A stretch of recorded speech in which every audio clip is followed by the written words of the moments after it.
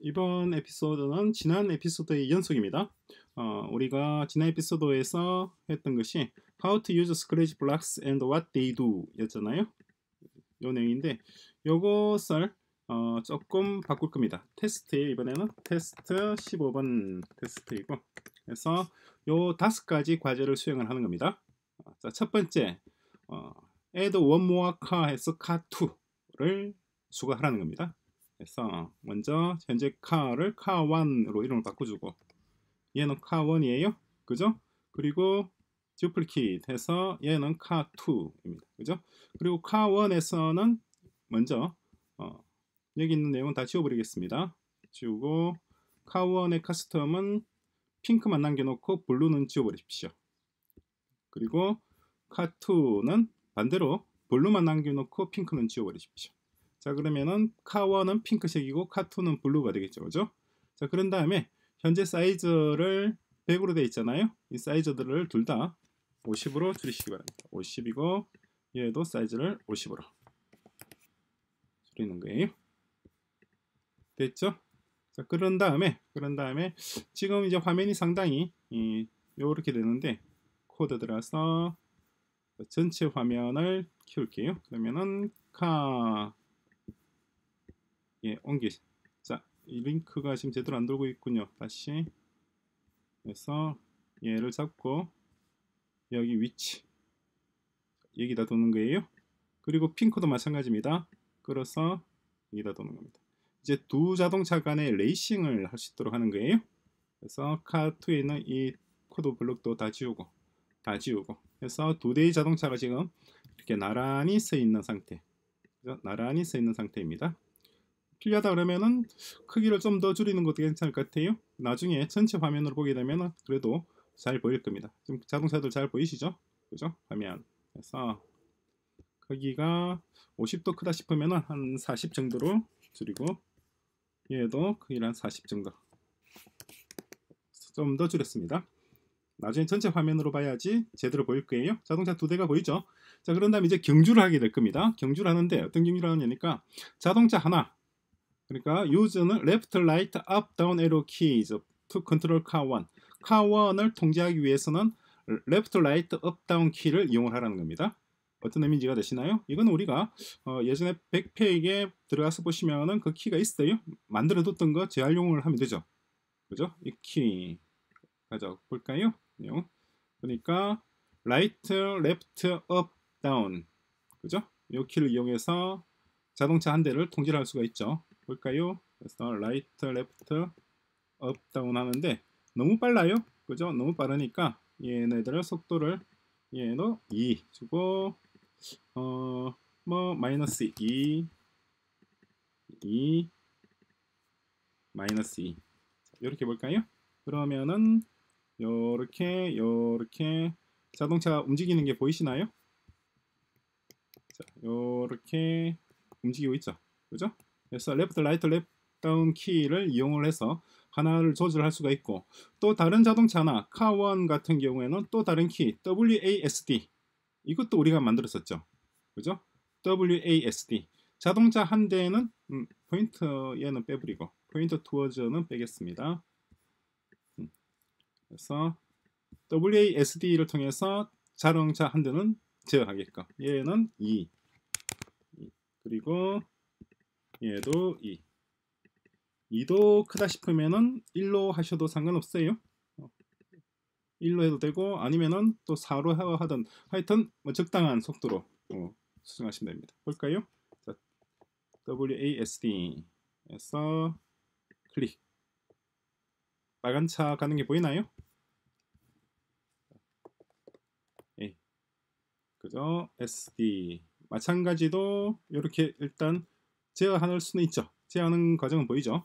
어, 제 생각에는 2도 빠르고 어, 1로 하는 것이 더 제일 적절하지 않을까 싶어요. 여러분들 나름대로 바꿔가면서 보시기 바랍니다. 1도 크다 싶으면 0.1로 바꾸셔도 상관이 없어요. 1 그리고 1 혹은 0.5로 하거나 적당한 속도로 하시면 됩니다. 자 여기까지는 간단하죠. 다음 세 번째입니다. 이게 두 번째 자동차를 이용한 두 번째 자동차는 어, WASD 키입니다. WASD 키 키를 이용하면 되고 첫 번째 자동차는 left, right, up, down 키를 이용하면 되죠.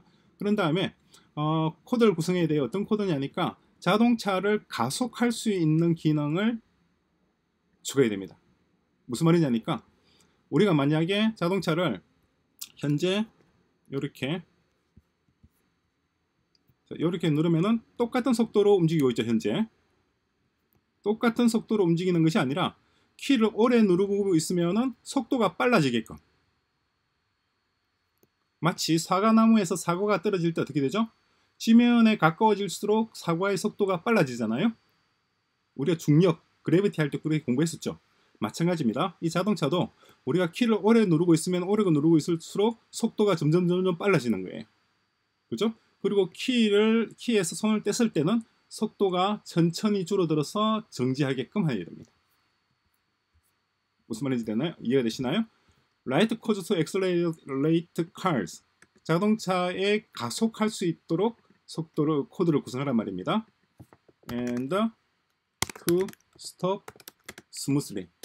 smoothly. 바로 바로 쓰는 것이 아니라 자연스럽게 우리가 자동차에 액셀러레이터에서 발을 떼면은 바로 팍 서는 게 아니라 서서히 속도가 줄어들어서 정차하듯이 그렇게 코드를 구성하라는 말이에요. 우리 이전에 했었죠?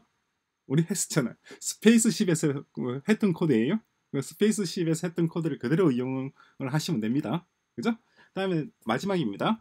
마지막에 뭐냐니까 자동차를 가속할 때 가속할 때 어, 소리도 자동차에 가속할 때 소리도 달라지게끔 구성을 하는 거예요. 근데 자동차 천천히 갈 때는 붕 하다가 속도를 높일 때는 부앙 올라갈 거 아니에요. 그죠? 처음에는 천천히 붕 드르릉 구르릉 하다가 속도를 높이면 붕 올라오겠죠. 그렇게 자동차의 속도에 맞춰서 소리도 pitch를 올리게끔 그렇게 코드를 작성을 하라는 거예요. 근데 우리가 위에 있는 이 네 가지는 다 했어요. 근데 다섯 가지, 다섯 번째 예는 우리가 아직까지 해본 적은 없어요. 그래서 제가 힌트를 드릴게요. 사운드 들어서 보시면은, 보시면은, change pitch effect by 10 있고, pitch 외에도, 어, 뭐, 펜 이펙트도 있고, 있고, 그런 다음에 change volume by 얼마 돼 있죠. 그죠? 이 피치 이펙트와 볼륨, 이두 가지를 조정하면은 자동차가 빨리 갈 때는 큰 소리가 부앙 나고 천천히 갈 때는 붕 하다가 섰을 때는 소리가 안 나게끔. 그죠? 섰을 때는 소리가 안 나고 천천히 갈 때는 낮은 소리가 나고 빨리 갈 때는 큰 소리와 그죠? 큰 소리가 나게끔 이렇게 코드를 구성하는 겁니다. 자, 요게 우리 테스터 15번 테스트예요. 여기까지 여러분들이 구성하시면은 아 정말 아 그러면 정말 훌륭한 자동차 게임을 구성을 할 수가 있는 거예요. 자, 이게 끝은 아닙니다, 사실은. 이렇게 하면 자동차 두 대가 이제 경주를 할 수 있겠죠. 파란 자동차와 빨간 자동차 두 대가 각각 하나는 WASD 키를 이용하고 다른 하나는 left, right, up, down 키를 이용해서 두 명의 게이머가 동시에 게이머가 이렇게 이제 게임하게 될 텐데 그런데 한 가지 우리가 빠뜨릴 수 없는 게 있죠. 뭐냐니까 6번입니다.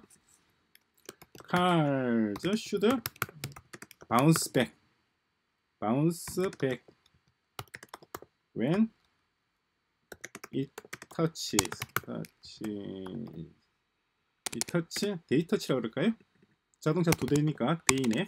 they touch 어 이 뭐죠? road죠. road. road road edge 길의 가장자리입니다. 길의 가장자리에 차가 닿게 되면 튕겨 나와야 돼요. 그러니까 자동차는 무슨 말이냐니까? Cars should not not 어, go outside라 그럴까요? outside road 어, road 음, 음, 음, 음, 음, escape road should not escape road 할게요 escape 그죠? 자동차들은 길을 절대로 벗어나서는 안 됩니다 그죠? 자동차는 길을 벗어나지 않도록 마찬가지 코드를 구성을 해야 되겠죠? 이것은 우리가 여러 차례 했습니다. 그러니까 아마 여러분들이 어렵지 않게 할 수 있을 거예요. 그죠? 그리고 다음에 7번 타이머도 한번 설치해 보십시오. set timer timer 그러니까 음 measure 뭐라고 해야 되나요? 음 어, measure time 그러니까 완전히 트랙을 다 도는데 걸리는 시간이 얼마가 얼마인지 알수 있게끔 위에다 타이머도 설치를 하시기 바랍니다. 그죠? 여기다 왼쪽에다 타이머 두시면 되겠죠? 그리고 마지막으로 하나 더 그리고 set speed to measure the speed of each car 각 자동차의 스피드를 측정할 수 있도록 set speed variable speed use라고 그럴게 use speed variable 그리고 마찬가지 use timer variable timer variable 자 speed variable은 어, 두 개의 speed variable을 만들어야 되겠군요 two speed variable 하나는 car 1의 속도를 측정하고 다른 하나는 car 2의 속도를 측정할 수 있는 speed variable을 세팅하라는 거예요. 요건 아마 조금 어려울 겁니다. 조금 어려울 수 있어요. 구글링 하면서 우리가 지금까지 공부했던 내용들을 다 어, 취합을 해서 한번 여기 방금 제가 제시했던 이, 이 테스트 그죠? 15분 테스트입니다. 아마 이거 푸는데 시간이 아마 하루 정도는 꼬박 걸리실 거예요. 천천히 하나씩 하나씩 단계별로 해서 어, 완전히 두 자동차가 경주를 하고 그 경주할 때 각 자동차의 속도도 표시가 되고 그리고 첫 번째 자동차 먼저 finish line finish line에 들어오는 어, 자동차가 총 걸린 시간이 얼마인지도 측정할 수 있게끔 그죠? 그리고 자동차가 가속할 때는 큰 소리가 나고 그리고 속도를 줄였을 때는 소리가 작아지고 그죠? 등등등 가장 자동차 게임 두 명의 선수들 멀티플레이어 게임이에요. 두 명의 게이머가 자동차 경주를 할 수 있는 그러한 게임을 완성해 보시기 바랍니다. 이게 테스트 15분입니다.